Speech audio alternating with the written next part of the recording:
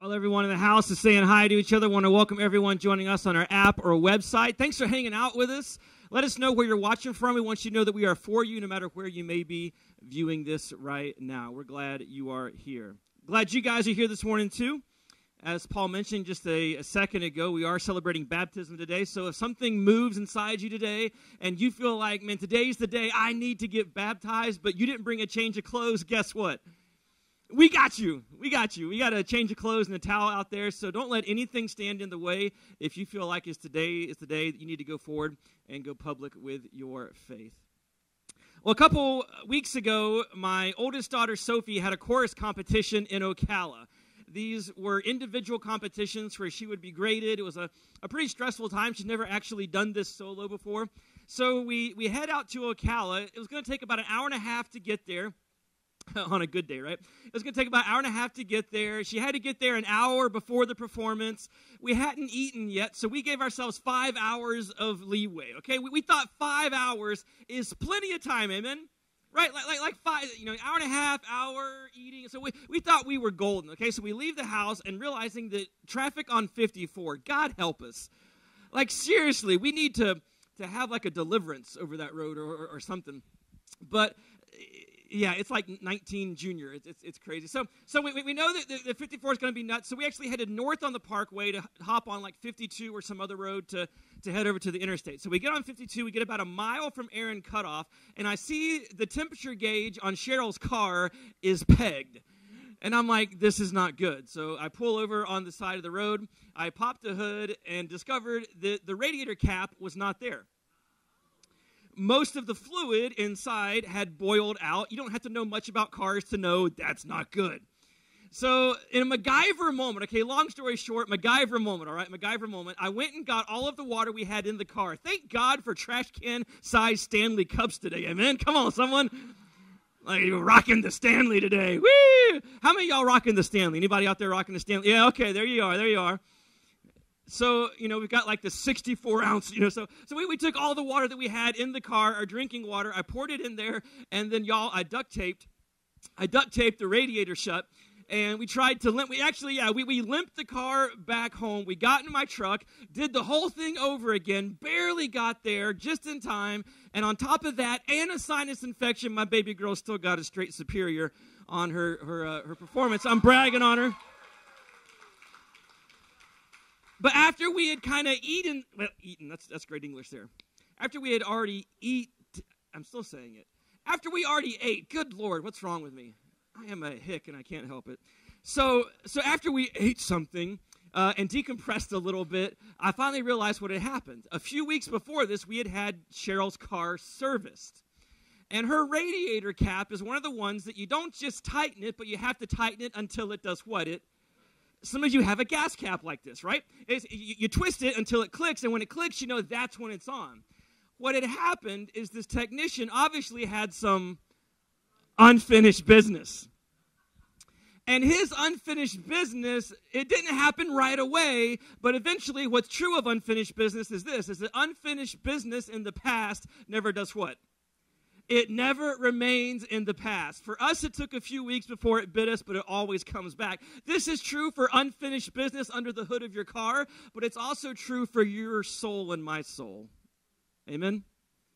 That when you've got some unfinished business in there, it's, it's going to come back up at, at some point. And so, for a couple weeks here, I just felt led that the, the direction that God was leading us was to stop and to pause as we, we kind of enter into this Easter season, was to, to, to do some some inventory of the unfinished business that we have in our lives. And so this week, next week, and we might even add a third week to it, we're going to be talking about this. And today I want to preach a message I'm calling Getting to the Root. Turn to someone next to you and say, We're going to get to the root today. And I don't mean like a root canal. That's a whole other level of pain. That's different pain. Of, of all the wounds that we gain in life, the ones gained in childhood tend to be the heaviest. Would you guys agree with that?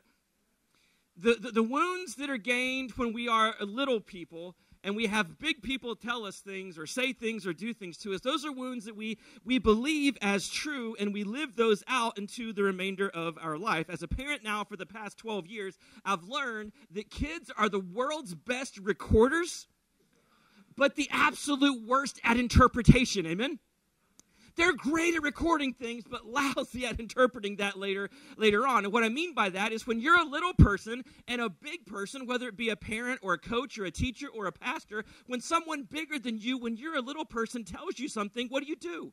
You believe that. And, and the things that we believe, we then internalize those things as we're little, and we live the rest of our lives many times trying to compensate for those things. Dr. Charles Cooley uh, he says this He says, Our self esteem is largely determined by what you think the person who matters most to you thinks about you. Let me say it again to make sure you followed that. Our self esteem, it's based by what you think the person who matters most to you. So think of whoever matters most to you in your life. Your self esteem is determined by what you think they think about you.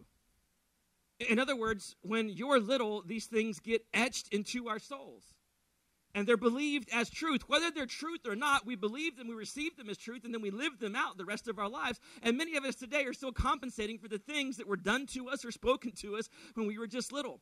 Some of you today, you're the type of people that you just like lash out at other people, it seems for no reason. And the reason that you lose your top and, and, and lash out at people, it's got nothing to do with them, but it, it's, it's something that they touched on. They, they hit a nerve, right? They, they, they touched on some of that pain from the past, and so you take it out on them.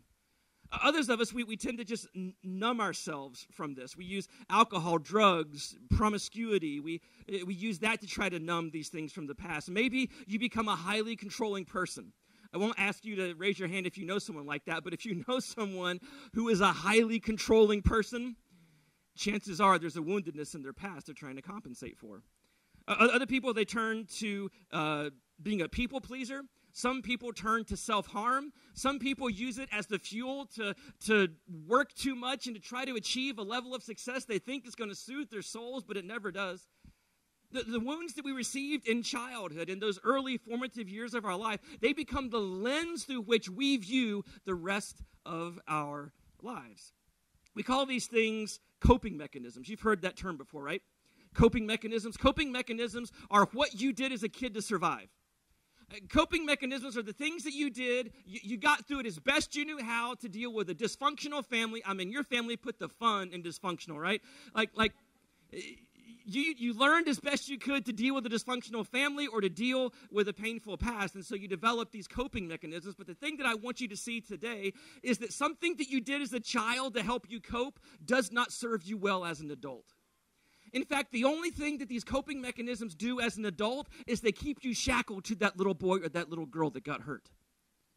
By continuing to use these things, all you're simply doing is diving deeper and deeper into your pain, not setting yourself free from it.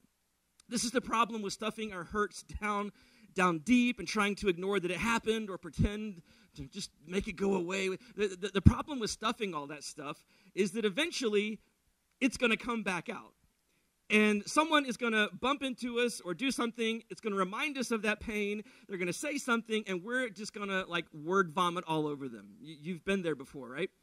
That all someone said was do you want chipotle or moe's? And they're like ah! i was like where did that come from?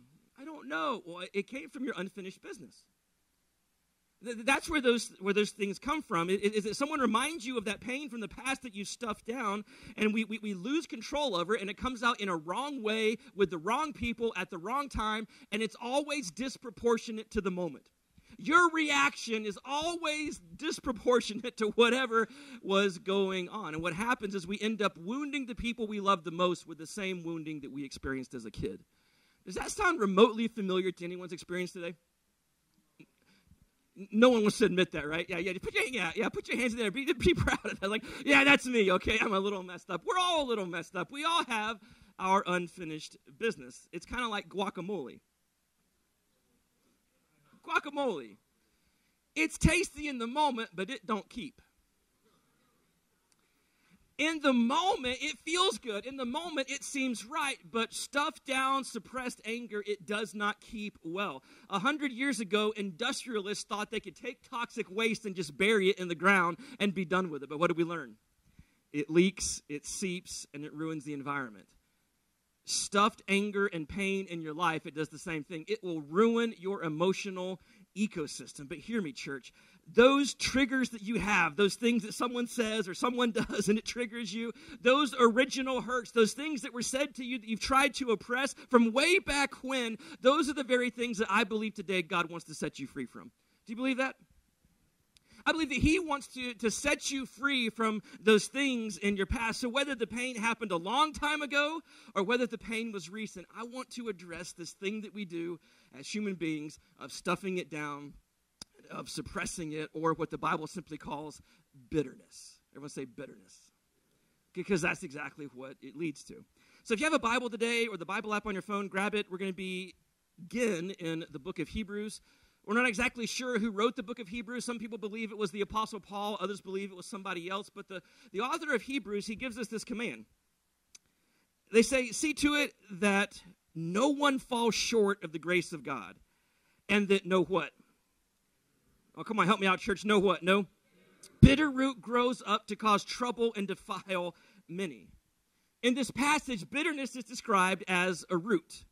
And what do we know about roots? Roots are always under the ground roots remain dormant oftentimes for a, long period of time. Roots are buried, roots are down deep, but what happens to a root is an, a root eventually breaks through the surface and becomes fruit. Roots always turn into fruit roots always turn into fruit. And the things that you stuffed down and you thought you buried in your past, they're going to have a way of coming and manifesting themselves in your life at some point. And it's always going to be when you least expect it, when you don't want it, and it's going to be disproportional to whatever the situation is. So, so let's talk about why it's so difficult to unroot these things. Like if, if bitterness is a root that gets down there, and the instruction of Scripture is to, hey, let's let, let's get the get the root out. Why is that such a difficult thing to do. Scripture has a lot to say about how to deal with a painful past, but denialism is not one of those. So how do we how do we unroot these things? Why is it so difficult? Well, the first reason I put my notes of why it's so difficult is because bitterness hides behind outward conformity. And what I mean by outward conformity is we all know once we get into our adult years how to wear a mask. Uh, we all know how to masquerade around as everything is fine. How you doing? Fine. Great. This is the mask you wear when you come to church on Sundays. Hi. How you doing? Yes. Hold my hand, baby. We're, we're fine. Hi. Right? You guys just got in a massive fight in the car, but you're fine, right? You just called your kids a four-letter word, but you're, you're fine, right? We, we, when we get to adulthood, we know how to masquerade around, and what happens is bitterness hides behind that. Uh, one of the, the best examples that I could think of in Scripture is a guy in the Old Testament by the name of Ahithophel. Everyone say Ahithophel. If you're looking for a baby name, that might be your one right there. Ahithophel. When we first are introduced to Ahithophel in the Old Testament, he's actually engaged in an act of worship. We also learned about Ahithophel that he gave really great advice. In fact, the advice that Ahithophel gave is pretty amazing. Scripture says this it says, Now in those days, the advice of Ahithophel, the advice that he gave, it was like one who inquired of God. In other words, if you wanted to get some advice straight from God, go to Ahithophel, right? Because Ahithophel, talking to him, was just like getting it straight from God. That's pretty high praise. No one's ever said that about me in my messages. No one. Like, like Pastor was like getting it straight from the mouth of God. And no, no one's ever said that. But for Ahithophel, the words that he gave was like getting it straight from God. So he's obviously, he gives good advice. He was a wise counselor. He was actually a friend to King David. But there was something hidden beneath the surface of Ahithophel's life. Even though we see him engaging in worship and being a wise counselor and getting these words from God, there was a deep root of bitterness that was growing beneath the surface. That, that something had happened in his past that he was nursing and it was doing its work. He actually had bitterness and resentment towards King David and this bitterness, even though on the outside it seemed like he was fine and seemed like he was a man of God, this bitterness did what bitterness does, and it was beginning to eat him away from the from the inside out. This is why bitterness is so hard to detect, is because it can lie dormant for years. In Ahithophel's case, it lied dormant for nine years between the offense and when things kind of came to a head nine years he let this just kind of kind of slow burn that's what happens is, is we have the initial offense and, and, and we stuff it down and we bury it and we just rehearse it over and over again in our mind for weeks or months or even years but then eventually it comes out as we talked about And eventually, we just erupt on someone. And instead of dealing with things in the moment, we just let it all out on them. Come on, you know what I'm talking about, right? You ever done that? Doesn't it feel good sometimes, right? You just let it all out and you just lay into them and you give an entire list of why they're a terrible human being. And we do that to control the situation and to appear righteous in our own eyes. So we let it all out. It's going to happen for nine, for nine years later for Ahithophel is when it finally happened. The, the, the day that he finally lets it out, that he lets it manifest, is when David's son Absalom, all name team going on here, right? When it gets better when when absalom his son david's son actually tried to take over the kingdom he ran his dad out. He was going to take over. And Ahithophel thought, David is vulnerable in this moment. I'm going to kick him while he's down. He saw red. He saw the red mist. He's like, I'm, I'm going to go after it. And so he joins the rebellion against King David. And he gets with Absalom. And because Ahithophel gave such wise advice, he gives him two pieces of wise counsel. The first piece of wise counsel go sleep with all your dad's concubines and wives. That was his first piece of advice. You know what Absalom did? He went and slept with his dad's concubines and wives, and that defilement put a rift between father and son that was never healed. The second wise advice that Ahithophel gave to Absalom was hey, why don't you go kill your dad, and then you can take the kingdom, and it will be yours. Now, fortunately, Absalom didn't follow through on this because he probably would have been successful in David in his weakened state. But David had a true friend in Absalom's court. See, within Absalom's court, there was a guy named Hushai. I told you they get better. There was a guy named Hushai.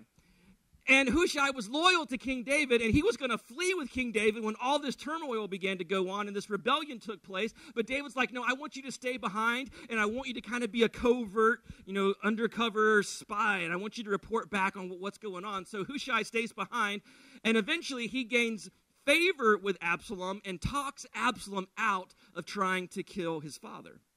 Well, Ahithophel, when he realizes that his plan is not going to happen, and all this deceit and lies and all the things that he's been doing behind the scenes, that's going to come to light, he goes home and commits suicide, which is a reminder of where bitterness leads.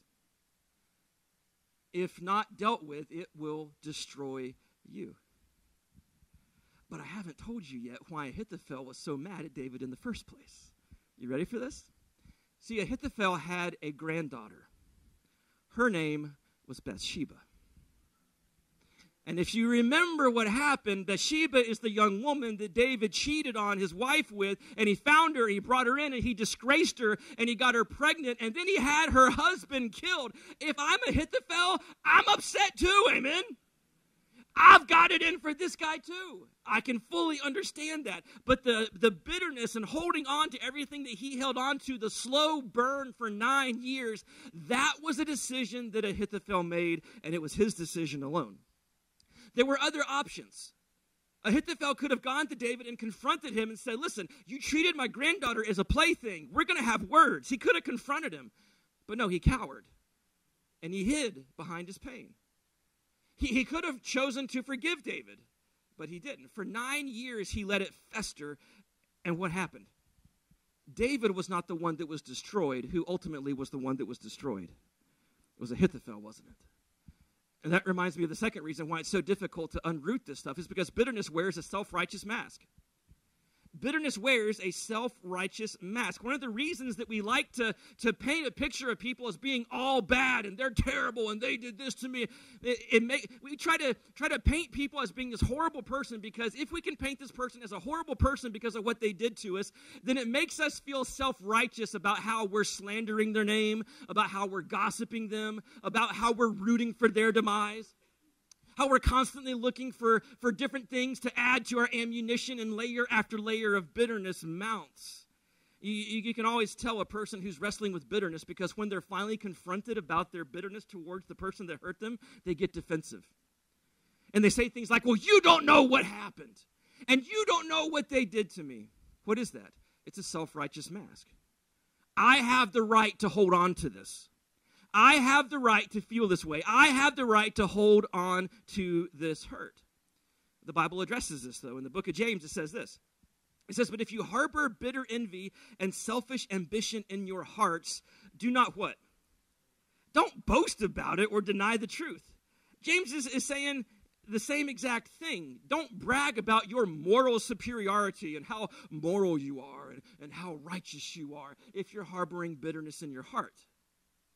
He says, it, it, don't do that. Uh, uh, bitterness likes to wear religious clothing. Uh, uh, bitterness likes to sound spiritual because it justifies the hatred that we hold on to in our hearts. Which leads me to this. I put this in my notes is that bitterness is a choice ultimately. Bitterness is a choice. Ahithophel had a choice. Bitterness is a choice. Now, what's interesting is if you go through the Old Testament, I know this is something that all of you guys do. I, I know you do this, but, but if you go through the Old Testament and learn the word that we translate as bitterness into English, you learn it's the word marar. Marar. It sounds like rar. I don't know. Marar. But this word in the Old Testament that we translate into English as bitterness, it has two meanings. One meaning can be something that tastes bitter or something that happens inside of a human heart. That can be one translation. The other translation of the same word is it's something that makes you stronger. And now, at first glance, you're like, how could the same word mean those two very different things? Those are two wildly different things. One is like this bitterness and nasty thing that you feel inside you towards someone else, and one is something that makes you stronger. Here, here's why it's because hurt and pain can lead to either outcome. It can lead to bitterness and hurt and resentment, or it can lead to you being better. It can make you bitter, or it can make you better. We see this played out in the story of God's people. In Exodus chapter 1, it says this It says, They, meaning the Egyptians, they made their, meaning the Hebrews in slavery, their lives what? Their lives were what? They were bitter. There's our word. Rawr. Forcing them to mix mortar and to make bricks and to do all the work in the fields. And this verse is talking about how the, the Jews were treated in Egypt. They were oppressed. They were made to do all this manual labor. They had to build, like, people, who built the pyramids? The Jews did, okay? It wasn't, it wasn't the aliens, it was the Jews. They, they, they were forced to, to do all of Pharaoh's projects. And, and, and one translation could be that that made them bitter, and that would be a proper translation of the word. But there are a group of Old Testament scholars that believe this also could be translated as it made them stronger. In other words, the things that Pharaoh tried to do to break them, the things that he tried to do to make them bitter, that actually made them stronger or it made them better from all of that manual labor. Amen? And so, what Pharaoh eventually began to fear wasn't a group of bitter people. No, he feared a group of strong people, right? And so the choice of which happens to you and to me, bitter or better, it's really our choice. It's up to you and it's up to me. Think about the implications of this. We like to blame the other person that did this thing to us for our bitterness. The reason I'm so bitter is because of what they did to me. But here's the reality uh, of this the, the truth is that bitterness is always a self imposed prison. No one can make you bitter, you make yourself bitter. Aren't you glad you came to church today? Turn to someone next to you and say, Aren't you glad you came to church today? But that's the truth. Is that no one can make you bitter. It's a choice that you make. It's a wrong reaction to a perceived injustice, and you have the choice: Am I going to allow this to make me bitter, or am I going to allow this to make me make me me better? So, so shift gears here. Let's talk about the consequences for bitterness. I, I think we can all see why it's so difficult. And, and you can probably think of some consequences like sleeplessness, ulcers, irritability, angry words, ruined marriages, separated families, a lot of other terrible things. So, so what are some of the blowbacks? What are some of the, the things that happen when we allow that bitter root to take, to take home in our, in our hearts? Uh, the first thing that I came up with this is that it'll dominate you mentally. If you allow bitterness to take root in your life, it'll dominate you mentally. There is a law of life that if you allow something ugly inside of you, it's going to remain ugly inside of you. The ugly thing that you allow in is only going to get uglier. The Bible tells us that we're only hurting ourselves, that, that holding on to bitterness is just self induced misery. Notice in, in Hebrews 12, verse 15, it says again, it says, Lest any root of bitterness springing up trouble you, trouble you, trouble you. Turn to someone next to you and say, Trouble you. Who does bitterness trouble? Who does bitterness trouble? Yeah, it, it, it, it, troubles you. Bitterness is, is, it does more harm to the vessel that it is stored than on the one that it is poured. But if we continue to to rehearse all of these, these negative thoughts and negative feelings towards this person, eventually we become a, a, a, a prisoner of our own making.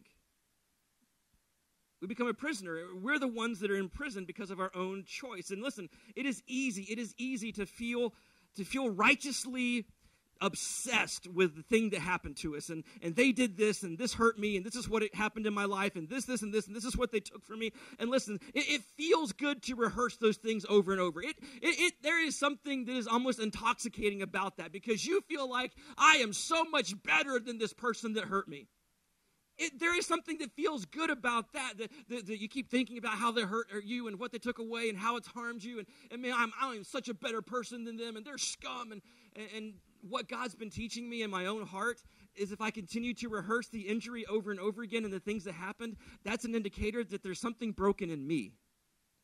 There may have been something broken in them to do this to me, but there's something broken inside of me that needs my needs my attention because it'll dominate you mentally when you allow it to take root.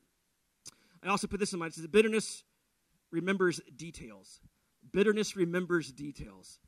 You've had thousands of conversations in your life and remember hardly any of them.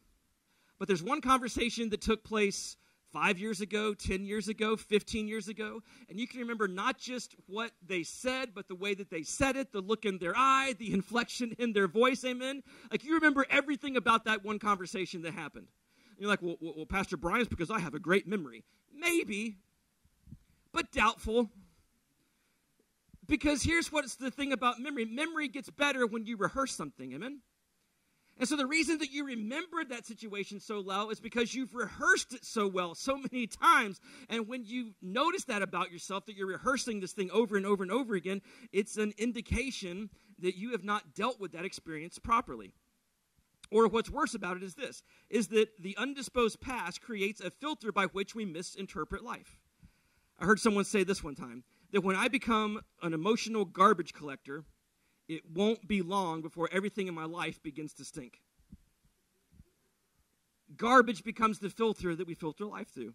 I also put this in my notes is that bitterness will depress you emotionally. Bitterness will depress you emotionally. Bitter people are not happy people. Period. In a sentence. You will never meet a bitter person that's happy. Cynicism, pessimism, criticism, negativism, these are all marks of a bitter person.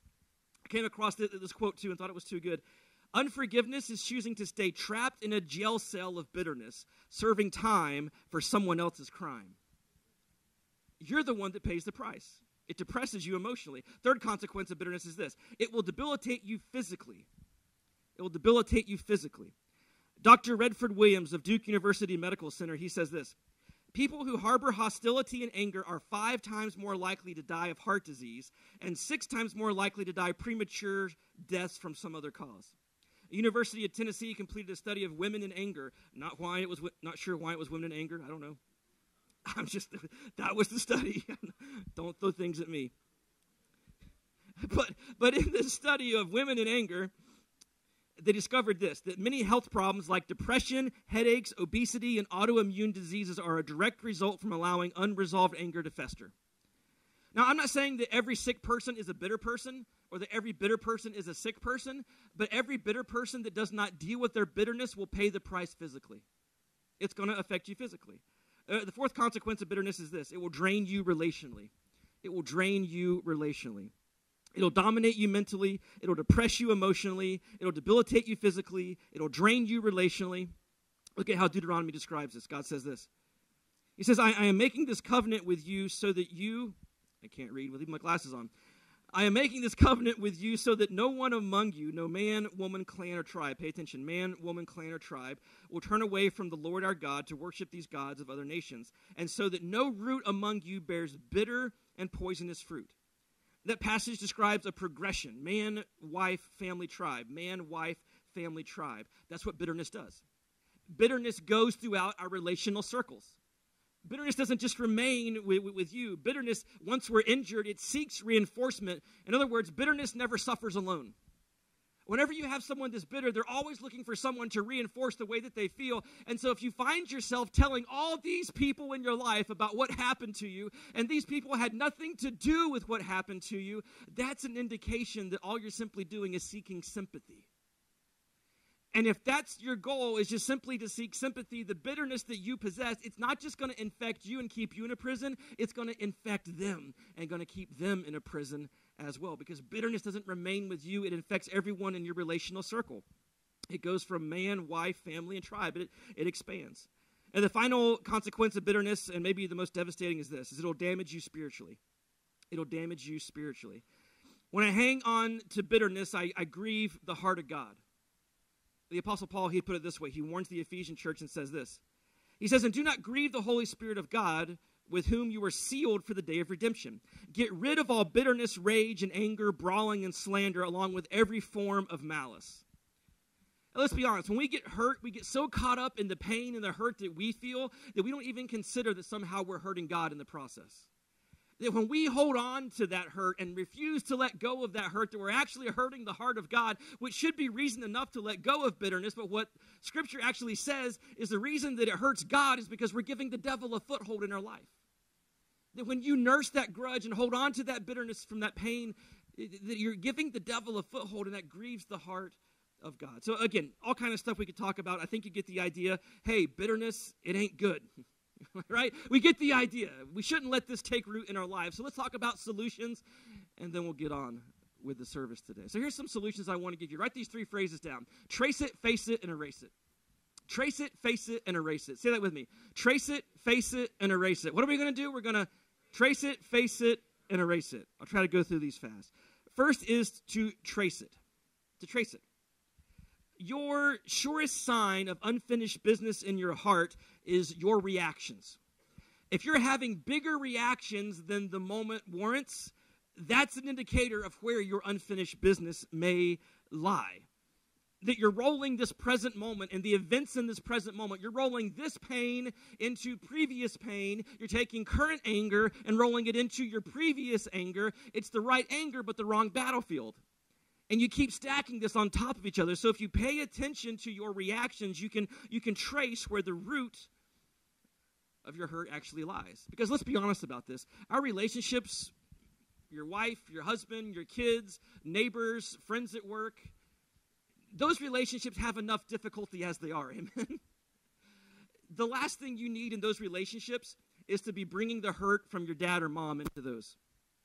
The last thing you need to do is to bring the hurt you had as a young person into those relationships today. So when you find yourself getting reactive, slow down and begin to ask yourself some questions.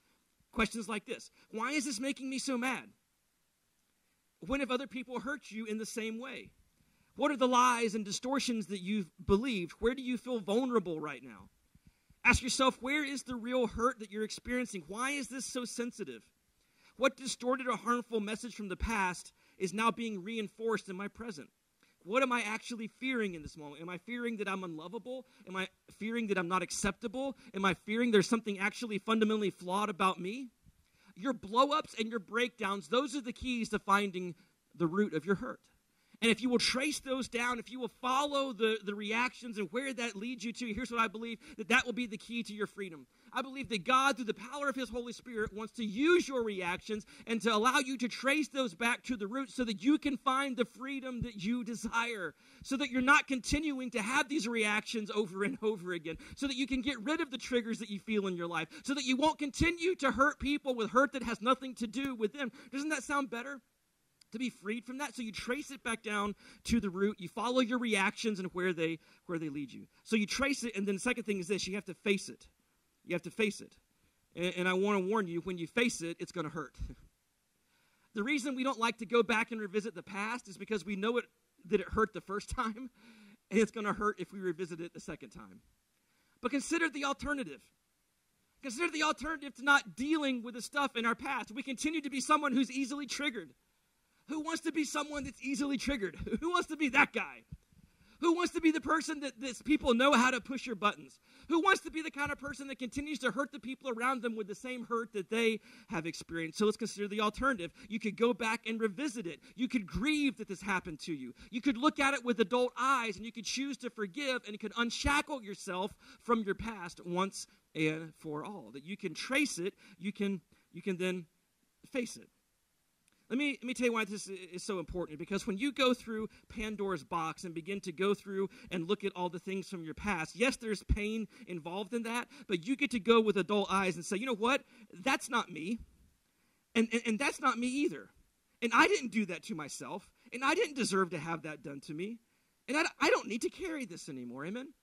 that you're able to go back and look at those things and free yourself even though it's painful you can you can be set free and, and, and the good news is we don't have to do this alone this promise from Scripture. In Psalm 34, God says this If your heart is broken, you'll find God right there. If you're kicked in the gut, He'll help you catch your breath.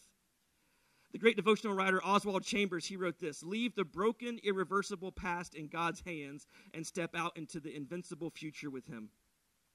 As you examine the garbage in your life, pray this prayer. Say, God, help me to see myself the way that you see me. For so long, I've carried this stuff with me and I've made this a part of my identity. God, help me to see myself the way that you see me. Help me to see me the way that you see me. I go back to the beginning of the message when I talked about Dr. Cooley, and he said that self esteem is largely determined by what you think the most important person in your life thinks about you. So, if that's true, once you've examined what the important people in your life have said about you as a child, then what you realize is that God's opinion of you weighs a whole lot more than mommy and daddy's opinion of you. It weighs a whole lot more than that teacher or that coach's opinion of you. His opinion matters most. What, what's God's opinion about you? What does God think about you? I'll tell you this the one who knows you the best loves you the most.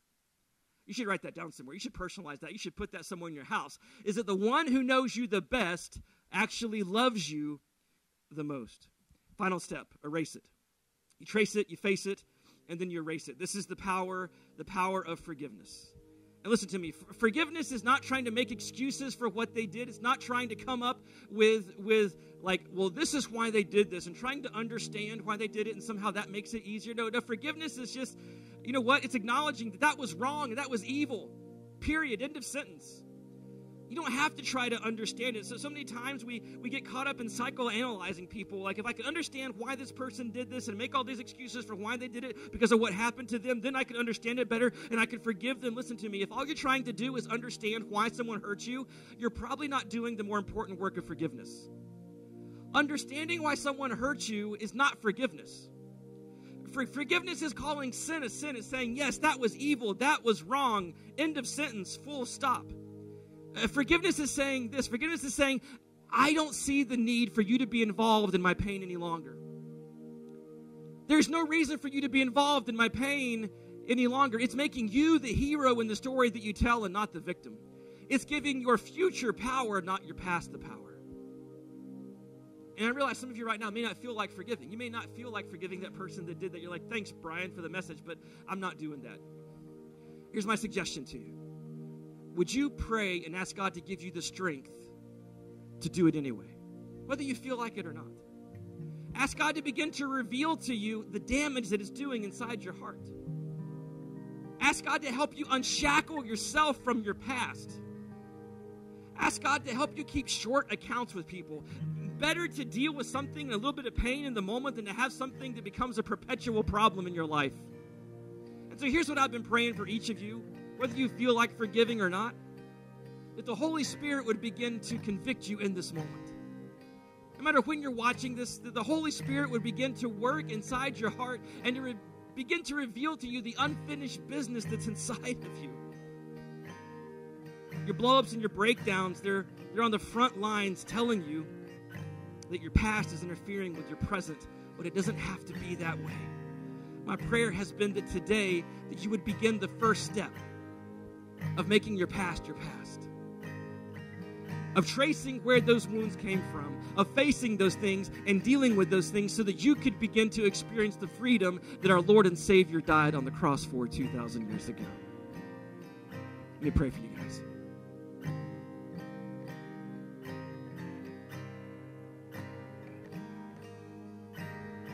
Father, I pray right now for those of those of us in this room that this message hits way too close to home. And we know where the unfinished business is, and it's right there, and it hurts, and it's bubbling up, and we can feel it right now. And even hearing this message has made us uncomfortable. God, I pray that you would come and you would bring clarity in this moment. that we would have the courage to trace it back down to the root, that we would have the courage to face it and then to erase it. Erase it because that's what you did for us. You came and you bled and you died. You sent your son to die for our sins, to erase everything we had ever done, everything that we would do. God, you gave us a before and after. And so I pray that in this moment, that this becomes the before and after moment in our lives with this root of bitterness. That there was a before, there's this moment, and there's going to be an after. I pray for the courage to deal with these things, to set us free from these things. If there's anyone in the house today that has not said yes to this Jesus, the one that came to forgive us 2,000 years ago, I pray that you say yes to him in this moment. You say yes to his love, his forgiveness. That the reason he came is to free us from the past and unshackle us from the hurt that was done to us, to give us a glorious future, a, a future of freedom. If you've never said yes to that invitation, then I pray you say yes right now. And here's what's so cool. If you said yes to that today, there's some people that, that have already said yes to Jesus and they're going to get baptized here in just a moment. Baptism is simply an outward reflection of an inward connection. It's showing everyone on the outside the beautiful things that you've begun to do on the inside of us as we accepted your forgiveness and you began to come in and to show us the broken places and to bring healing and to show us freedom and to give us new life. Baptism is showing the world this beautiful thing that you've been doing inside of us. And so, if you've never been baptized, we'd love to do that today. We have a change of clothes waiting for you if you didn't plan on it. If you have said yes to Jesus, but didn't come prepared, we have a change of clothes waiting for you.